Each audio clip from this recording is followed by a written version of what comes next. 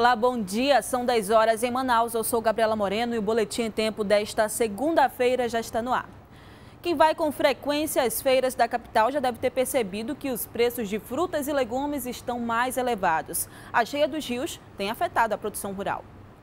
Frutas, legumes e verduras estão mais caros e o consumidor sentiu no bolso esse aumento. Tomate, cebola, vários, vários tipos de verdura. Cebola, tomate, é, tudo, tudo aumentou. Nossa equipe veio até a Feira da Manaus Moderna para verificar de perto o aumento das hortaliças. Aqui nessa banca, nós pudemos perceber que os preços aumentaram cerca de 30%, não só dos produtos que vieram de fora de, do Amazonas, mas também os que são produzidos aqui no estado. O pimentão, por exemplo, ele estava sendo vendido a R$ 6,00 e hoje ele está sendo vendido a R$ 8,00 o quilo. Outro produto também que é produzido aqui no estado é a abobrinha, que estava sendo vendida a R$ 2,00 e hoje está 50% mais cara. Ela está sendo vendida a R$ 4,00.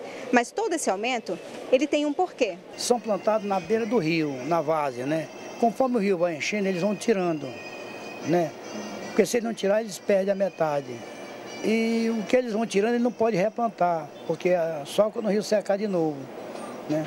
Então, isso que vai se tornando ficando mais caro. Desde fevereiro, a colheita em áreas de várzea, nas calhas dos Solimões, Juruá, Purus e Madeira, são prejudicadas por causa da enchente, que chegou mais cedo este ano. As cheias anormais, como a que está acontecendo esse ano, e está causando sérios danos, principalmente nas bacias do Juruá, do Purus, do Madeira, mas também nos Solimões, essas cheias anormais é que precisam de uma, um regramento que o governo do estado, através da CEPRO e de outros órgãos, está tentando delinear e negociar com o governo federal, porque essas cheias anormais é que avançam pelas áreas de lavoura e de criações, pelos pastos das várzeas, e essas que causam maiores prejuízos. Dos 62 municípios do Amazonas, 35 foram atingidos pela cheia dos rios este ano. As cidades mais afetadas são Guajará, Ipixuna e Pauini, no interior do estado.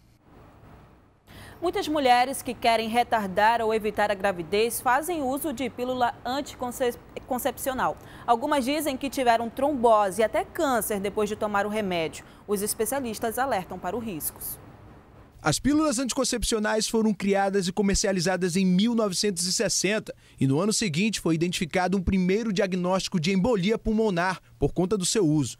Algumas mulheres reclamam do medicamento, outras sentem fortes dores de cabeça, enjoos e chegam até ter trombose. Eu tive trombose quase morri mesmo, passei um bom tempo hospitalizada, fiquei é, quase um mês tendo que ficar com a perna para cima, ausente do meu trabalho. Existem também casos extremos de pessoas que chegaram a ter câncer. Acarretou futura depois, né, é, um câncer mamário.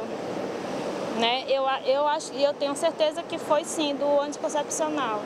Tanto que hoje eu não tenho mais a mama esquerda, é, e eu não posso usar nenhum tipo de hormônio. Os médicos alertam: mulheres fumantes com histórico de trombose na família, enxaqueca frequente, obesidade e diabetes não podem utilizar os anticoncepcionais sem prescrição médicas. É que podem surgir complicações.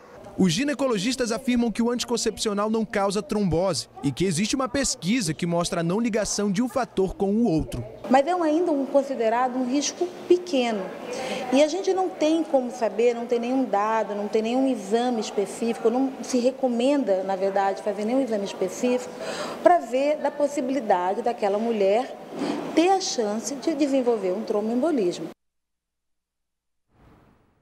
Ontem, a Ponta Negra foi palco de eventos voltados para a saúde e qualidade de vida da população. Um deles foi o passeio ciclístico que movimentou pessoas de todas as idades.